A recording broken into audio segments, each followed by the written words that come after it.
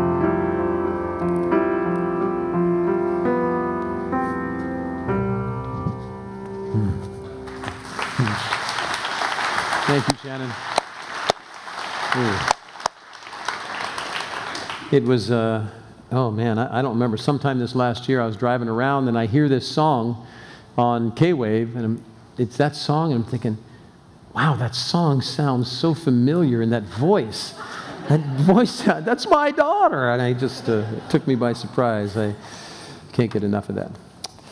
How are you doing? Are you ready for the real Christmas? Tell somebody beside you, I'm ready for the real Christmas. Go ahead. Let's talk about that, all right? Open your Bible, please, to, uh, to John, the Gospel of John. Part one in the presence is face to face. If you'd stand with me, let's uh, open our Bibles to John chapter 1. Mark your Bible in Psalm 27 as well. But we'll start this morning in the first chapter of the Gospel of John. Follow along with me. I'll have you jump in at two places. And John starts his story just like the Bible starts in the beginning. In the beginning. It says, In Genesis, God created the heavens and the earth. Well, John gives us a little more insight into the Father, Son, and Holy Spirit working there together. It says this In the beginning was the Word, and the Word was with God, and the Word was God. He was in the beginning with God. All things were created through him, and without him, nothing was made that was made. In him, that's in this word, in him was life, and the life was the light of men. And the light shines in the darkness, and the darkness did not comprehend it. There was a man sent from God whose name was John. That's John the Baptist.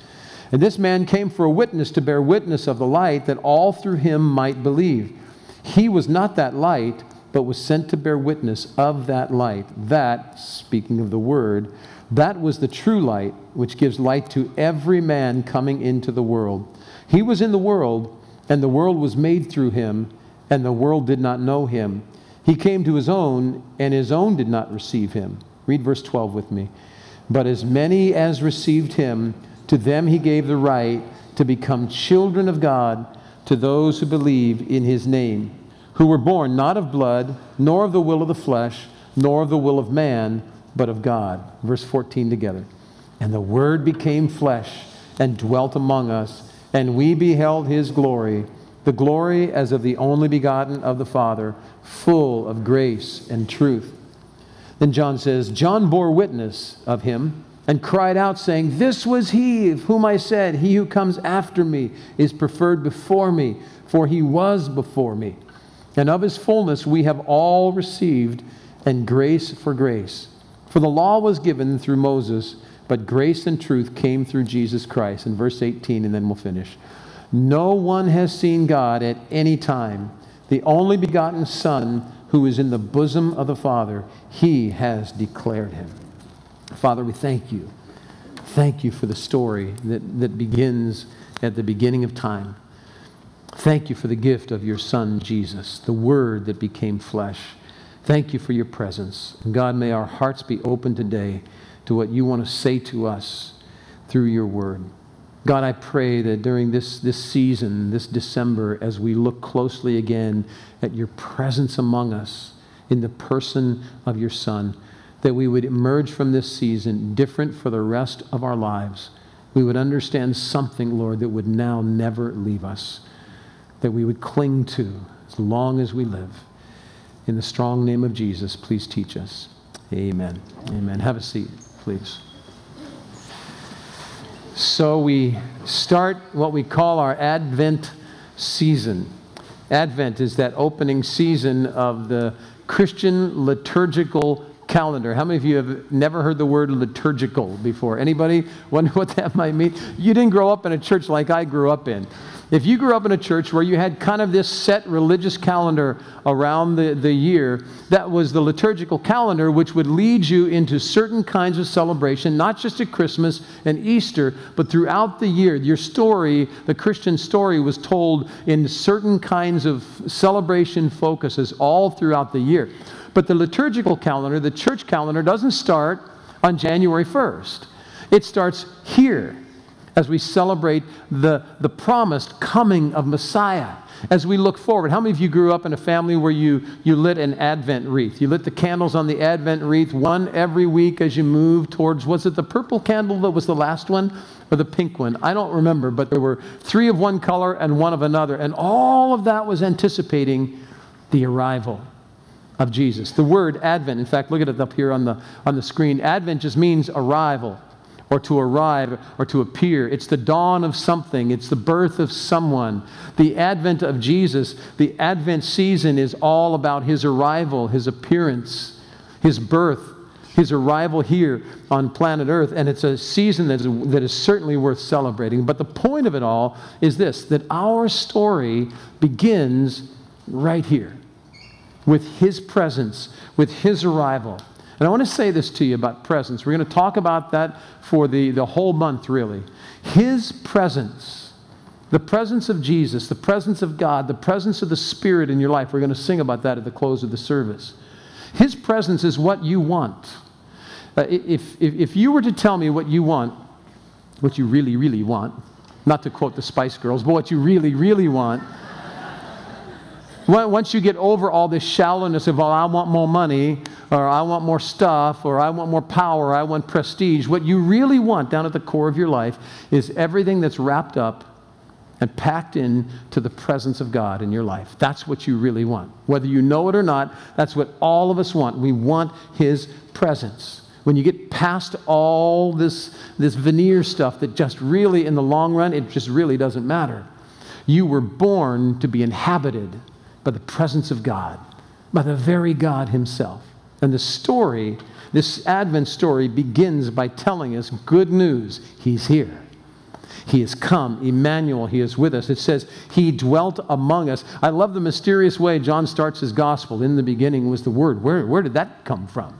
Where do you get the idea of the word? Well, there is a, a place where he got that, but I can't find that anywhere else in the text. He says, In the beginning was the word, and that word was with God, and the word was God. And he just has you on the edge of your seat. John, who's this word? And he says, Well, this word, he does all kinds of things, but here's what he does. Eventually, he takes on flesh. The word became flesh and he came here. The one who was the creator, the one that was his outrageous giver, here he was among us. I love the way that John starts the biography of Jesus by saying, He dwelt here, He moved here, He lived here among us, and we got to see His glory. And He defines the glory of God this way He was full of grace. He was full of truth. Those are the two things we all need. We need wisdom, we need truth. And know how to, we need, we need clues on how to get through this life. That's the truth of God, far beyond just trite little cues or clues. It's everything he said, all the truth that he spoke, and all the grace that's wrapped up in his presence. That's what you've been after your whole life. If you haven't received that yet, if you're still lacking that in your life, then you haven't received Jesus because he brings that truth, that truth, and he comes with that grace that will absolutely radically transform your life. But I love the way when John tells a story, he skips for some reason. He knew the story, but he skips all the Bethlehem bits. Did you notice that? He says nothing about a baby wrapped in rags laying in a manger. He says nothing about shepherds that have the daylight scared out of them in the middle of the night by an angel. He says nothing about these, these magi on camels or whatever they rode coming from so far away. He goes far before that. He says, at the beginning of time, in the beginning, it was God, it was the Word moving, creating everything that we see. John tells us that Jesus was there long before he showed up here, and he was giving all the time. I want you to look up here on the screen. We're going to look at the gift registry. This is just the registry of the gifts that Jesus was giving, that the Word of God was giving to us long before he showed up on this planet. You saw it there in verse 2 creation, everything you see, everything that you see had its source in the Word of God. Everything that was made was made by Him, and nothing was made without Him. All things were created by Him. He gave you that. Every time you look down at a half full plate of food, if that's all you've got, that was a gift from God to you. Every time you look at a beautiful forest and you stand by the ocean and you look at your, your loved ones, those are gifts from God to you. Every time you look up at those stars, it, it should knock us out every time we look up. And it, it should always make us say, Whoa, God, you know what? He did that for you. He created all of that for you. He was a creator. All of creation He gave to you. Life He gave to you. In verse 4, it says, In Him was life, and that life was the light of men. He, he's the one who is, is life and gives light to all men. I love that fact that it says, He gives light to everyone who comes into the world. That life and that light, it's, it's all Him and it's all a gift from Him. Listen, the life issue is this you are not just a critter. You're not just a, a, a more exquisitely evolved piece of, of, of the animal kingdom. Because when God created man, it says he breathed into him and he became a living soul. There was something different about man instantly than the dogs and the dinosaurs and the, and the birds and, and everything else that he made. You are unique. That gift of life was given to you by him, that consciousness that you're alive, and that thing in you that makes you at some point look up and say, Where are you? God, where are you? You've heard the story of Helen Keller, right? You know, this woman that had none of the senses that you have and that you depend on every day. And Anne Sullivan, I think it was Anne Sullivan, when she told her the story of Jesus, or whoever it was that told Helen Keller about Jesus, and they signed it into the palm of her hand and told her about the love of God and that He'd sent His Son. You know what she said back?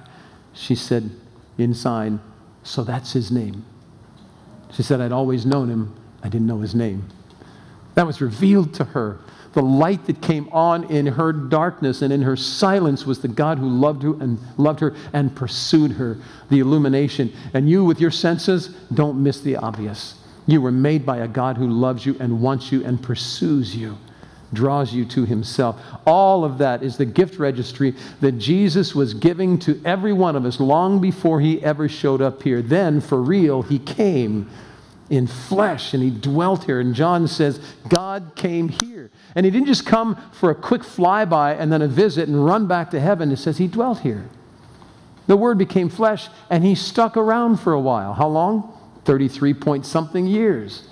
He lived here among us, right over there in Israel, where I've been walking around and swimming around. right over there in Bethlehem. And right over there in Egypt and, and, and up the track in Galilee to Nazareth, moved down to Capernaum, he dwelt here. He was among us and he continued to give. God made himself visible in Christ. When Jesus shows up on planet Earth, you get to look now into the eyes of God. You get to see God in a different way. God came here and he lived among us, and everything changed for one reason. What was the name of the song we sang? Emmanuel, because God was here. God was here not to visit, but to change, to change your life and to change my life, to change our destiny. He came visibly here among us. God showed up. Not, not like one of those goofy transformers that, you know, they hide on the dark side of the moon and they come out to make things right on earth. Not like the, the crazy titans of, of Greek mythology. This is God who came down and became just like us. And he looked, I hope this doesn't sound sacrilegious to you or disrespectful, but Jesus became a guy. He just became another guy. He looked like just another guy on the street just another little Jewish boy growing up in a neighborhood in Nazareth. He moved, in, if, if you had lived in Nazareth, he might have lived right next door to you, and you would have looked right past him and never thought for a moment, you know, as you saw him. Let's say you're walking by his, his carpenter shop when he's 20 years old, 25 years old, and you say, Hey, Yeshua, hey, Jesus. Oh, wow, you're looking more like God every day, Yeshua. You would never have guessed that that was God in the flesh making a chair, fixing a bench, or framing in the windows in your home because he just, he just looked like a guy. But this was far more than a guy. Far more than just another guy. This was God in flesh. Look up here on the screen. Read these with me. In Colossians 1:15, let's read this together. It says, "Christ is the visible image of the invisible God." You know that's what you're looking at when you looked at Christ. Oh, could, what an amazing privilege to have been Peter, James, John, Andrew, Bartholomew, those guys, to look at him and then years later to realize, wow, how did we miss who he really, really was? Look at the second chapter of Colossians, verse 9. Let's read that together. In Christ, the fullness of God lived in a human body. Here's a few more verses in Hebrews. It says, God, who at various times and in various ways spoke in times past to the fathers by the prophets, has in these last days spoken to us by his Son, whom he has appointed heir of all things. Well, of course, of course, he was heir of all things, the Son of the Father, through whom he also made the worlds. Now, here's where it gets personal for you and for me.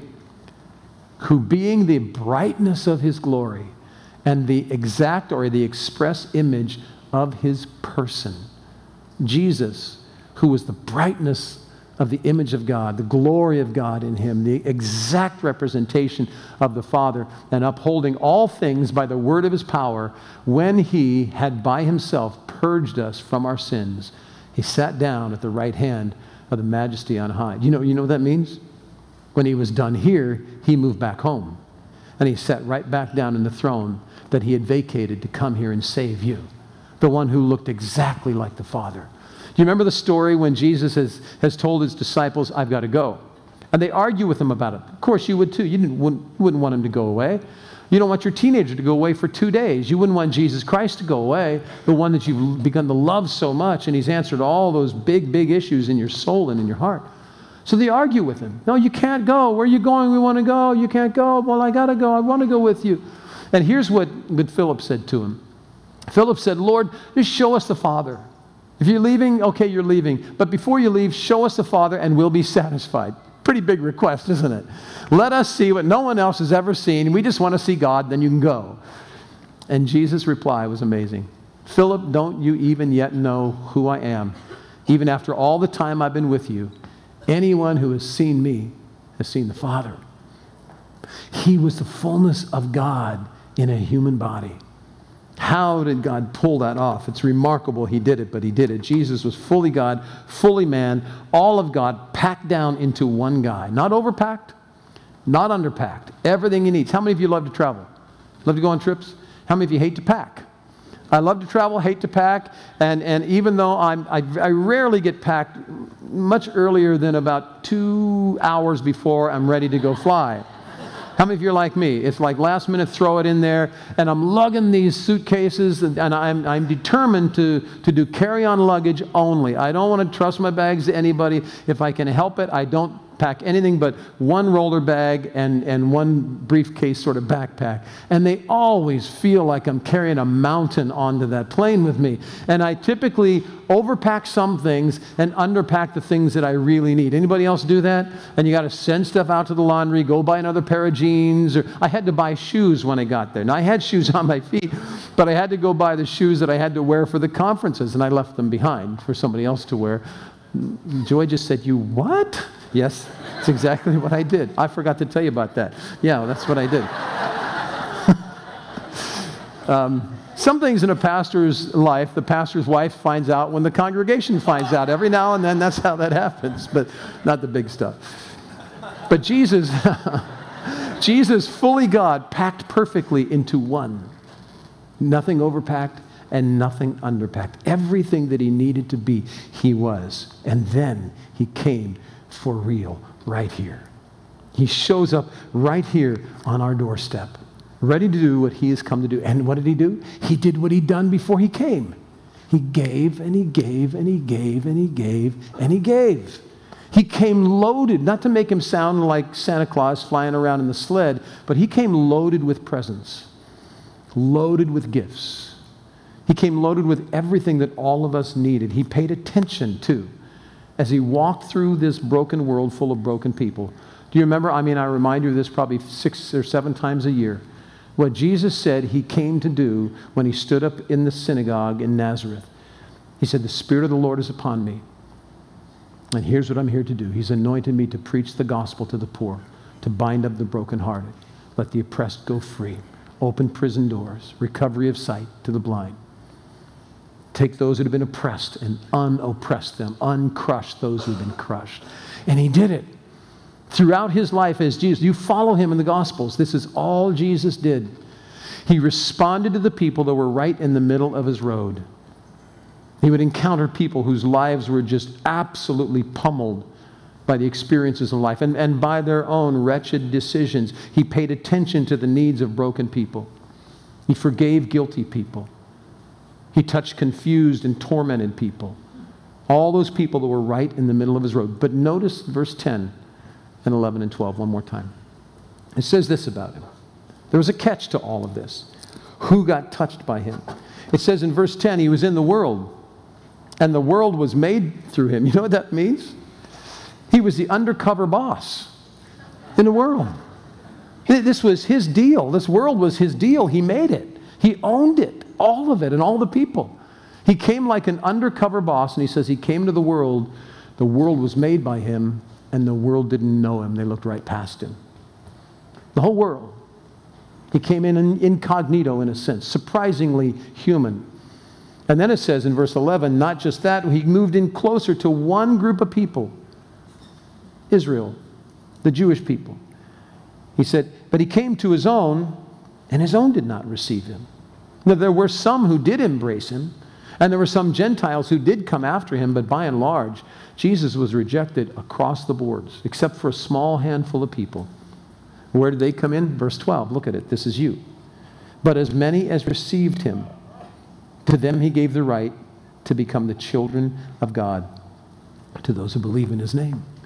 It was all about responding to his presence. And when I look at the story of Jesus as, as I see it in all four Gospels, I can't think of one part of his story or one encounter with someone. I can't find one single story where Jesus sent a miracle to someone by airmail because they were too busy to be present. He only touched those who were right there in his path. He didn't stand at the edge of all these little towns and villages and cast out a general blessing. Oh, Father, save all of these people and, and heal all of those sicknesses. But the ones who came to him, who asked for his touch, he didn't turn them away. He gave them what they needed and many times far more than they'd asked for. It's just how he worked. They were the people that were there in the middle of his road. They came and they worshiped him. You listen to him in the story. They plead with him. They beg. They cry out to him from across crowded streets. Those two blind men, while everyone's walking by, hey, Jesus! And they've got to scream to be heard above the crowd. Have mercy on us. And he stops and he says, Bring those two guys here. the same guys who were trying to quiet them down. Shh, it's the master. That's Jesus, the master, Messiah. Would you show some respect?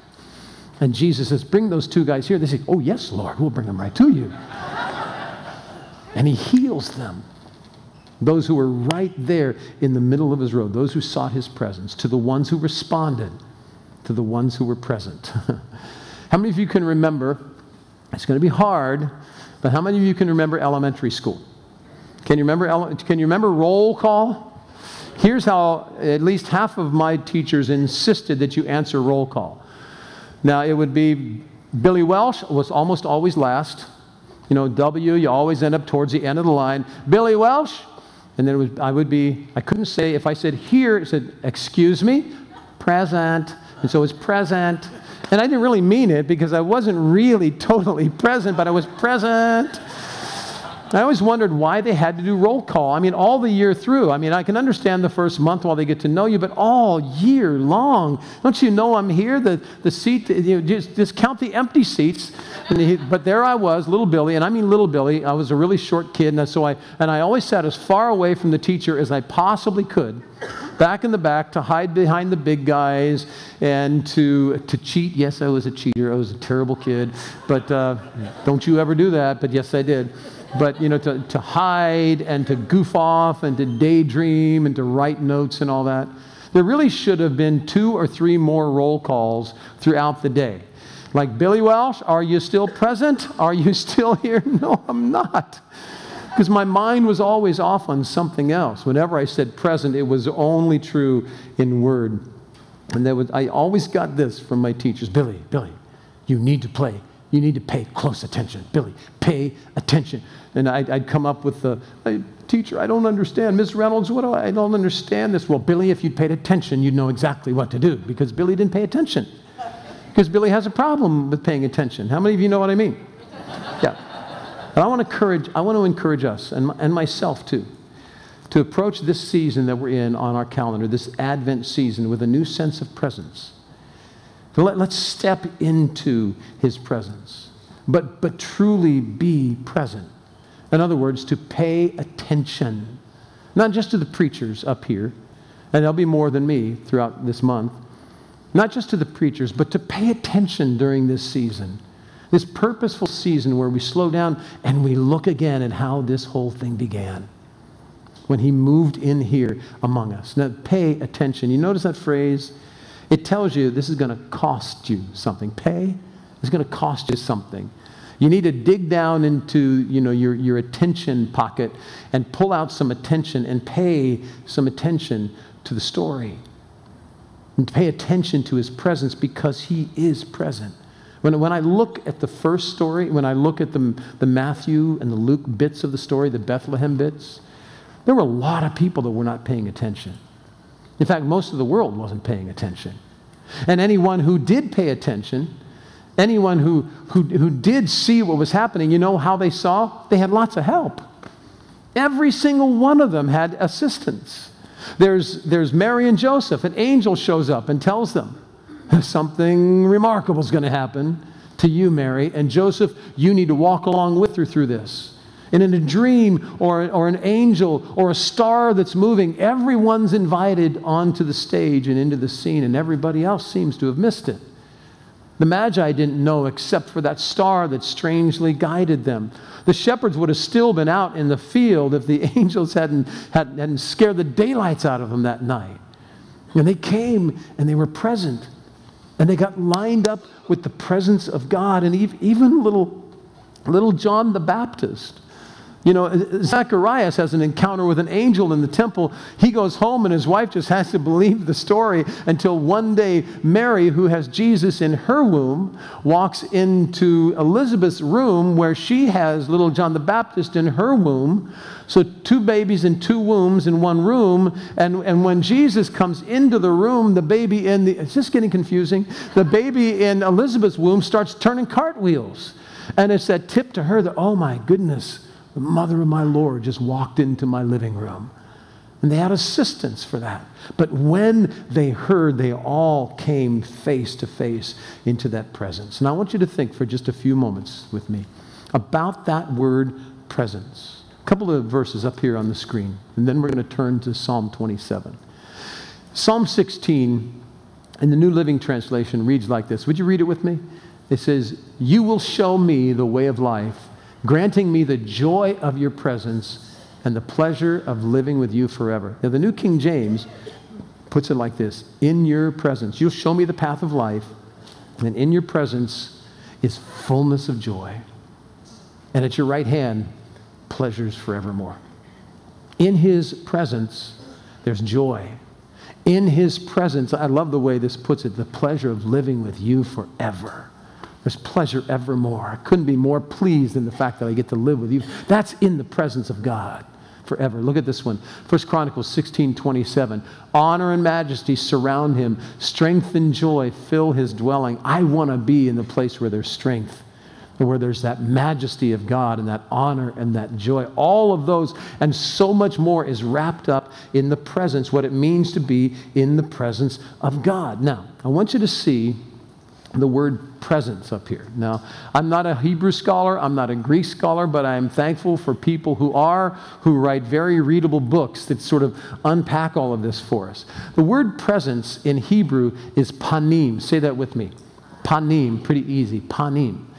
I want to look it up to see other ways that it's translated. A lot of times, one Hebrew word can be translated into English two or three or four different ways. This one shows up in at least three different ways. And check this out Panim is translated person, presence, and face. Most commonly, person, presence, and face. One of the first places it shows up as face is God having an encounter with Moses. down there in the Negev, down there in the desert. And they're, they're talking through some things, and God has a plan for Moses, something he wants him to do. And so there's some questions back and forth, and, and Moses is saying, I want to see your glory. Let me see your glory. And God says, No one can see my panim, my face, and live. No one can see the fullness of my glory and live. But he says this about Moses.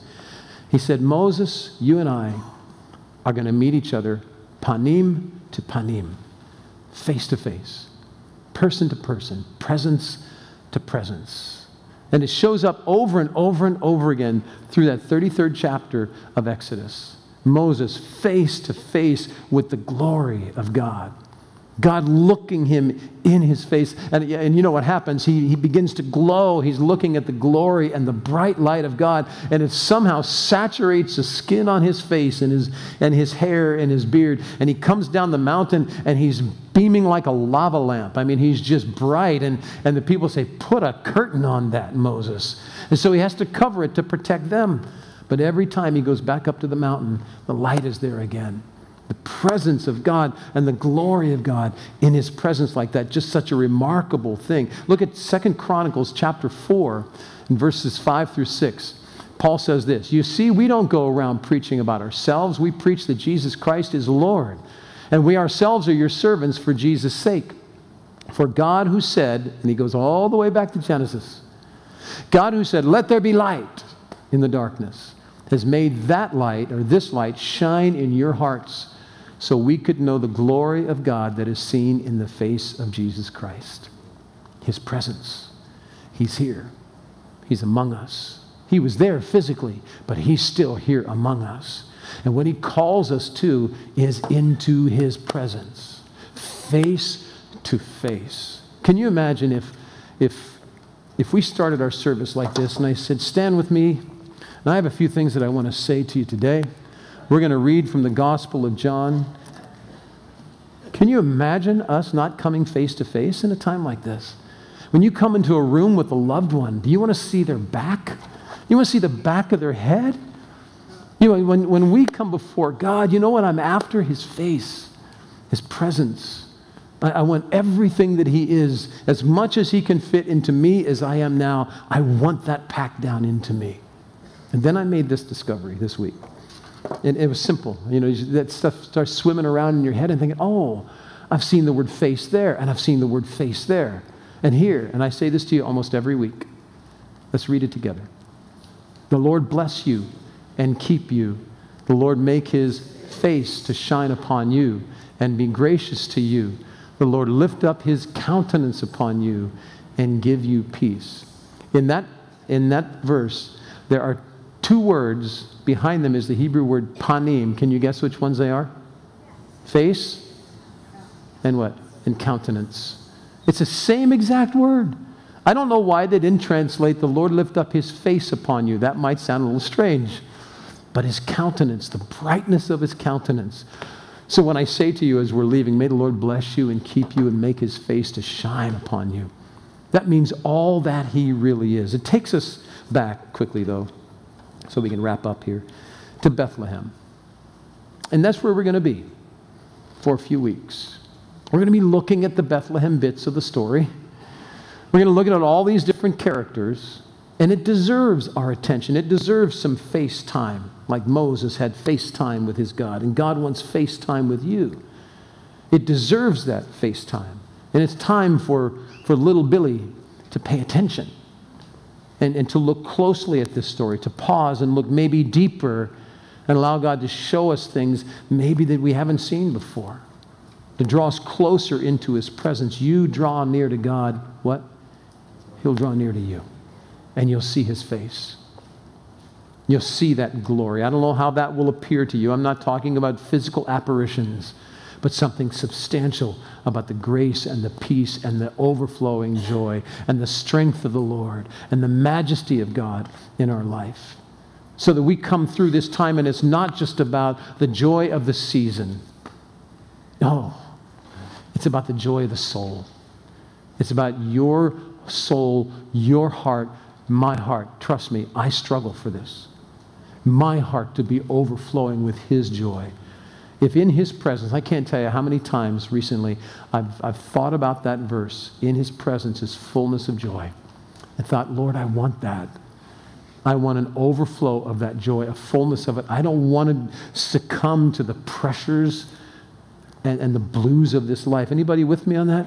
God, I want the fullness of your joy in my life. Let me tell you something. I'm convinced. It will require FaceTime with God. It'll require stopping something else, even if it's just 15 minutes, and getting FaceTime, alone time, presence time, person to person with the God who made you for himself. In his presence, he lives in you. He loves you. He called you out of darkness to himself. He dwells in you. And the fullness of that joy and that peace and that strength, that's what he wants.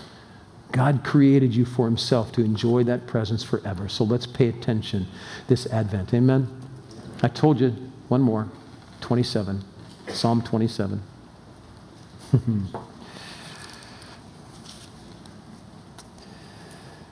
this, you know, we, have put a pause on our study of David's life, so we might as well let him say something here this morning. He says, The Lord is my light, my salvation. Whom shall I fear? The Lord is the strength of my life. He knew that strength was in the presence of God as well. He said, So of whom shall I be afraid? Look over to verse 4. One thing I've desired of the Lord, that will I seek, that I may dwell in the house of the Lord all the days of my life, to behold the beauty of the Lord and to inquire in his temple. Verse 8, I love this. When you said, Seek my face, my panim, my heart said to you, your face, Lord, I will seek. So do not hide your face from me. Do not turn your servant away in anger. You have been my help. Do not leave me nor forsake me, O God of my salvation. So, what if God says to you, and He does, Seek my face? Seek my face. What do you say back? Lord, I will. Lord, your face I will seek. It'll cost you, it'll cost me. It's what, what we like to call devotions. Devotions can be that thing you got, oh, got to read my chapters. Okay, got it done, got to go. Is that FaceTime? It's lingering as long as you can and paying attention. And giving him time to do something, that quiet time, whatever you want to call it. Give him some FaceTime. Get close to him. Now, first things first. The Bible says the eyes of the Lord are searching those, for those who will seek his face, those who will trust him. His eyes, his face. He's looking for you. And if you haven't yet surrendered to him, now's your opportunity right now, today, this moment, to give God face time. Don't turn your back to him. Don't side glance him. Look him square in the face, and you'll find what you're after forgiveness and grace and truth. You'll find the joy. You'll find the peace. You'll find the purpose. You'll find a guide. All of that. I could go on, but we're out of time. You'll find Him. You'll find what you were made for. I want to ask you to pray with me. The worship team is going to come back up. But if you haven't received Him, now is the time to give in and humbly and confidently, attentively, and even desperately come and say, Jesus, here I am. Now, I'm going to pray, like I said, but not just for you, with you. I want to pray with you. I'm going to pray a simple prayer, and here's what it's basically going to be about God, I open my life to you. I turn my face to you. I will give you my attention. That's a big order for me to give my full attention to anything, but God deserves it. So I'm going to endeavor to do that. We're going to pray that way and just make a fresh surrender of our life to Him and to seek His presence. Amen? I mean, look, look if, if you're looking for peace and happiness apart from Him, it doesn't exist. You won't find it anywhere but in Him. So come right now. Let's pray. Let's pray like this Father in heaven, I thank you for Jesus, who came from heaven to earth to die for my sins and to save me. Please forgive me. Come live in my heart. Take over my life. I turn my face to you, Lord. I will seek your face. Fill me with all that you are and use me for your glory. In the strong name of Jesus, my life is yours. Amen. Amen. Thank you, Father. Father in heaven, Lord, I pray your blessing, your outrageously overwhelming blessing, Lord, upon your people, Lord, as we seek your face together, as we seek you for our own lives, our families, and for our church, Lord. Would you take us deeper? Would you help us to reach further, Lord? Would you help us to do as much as we can do for your glory in this land at this time? In Jesus' name, amen. Amen. This has been a presentation of Refuge Calvary Chapel Huntington Beach with Pastor Bill Welsh. For more information about our ministry, please visit refugefamily.com or call 714 891 9495.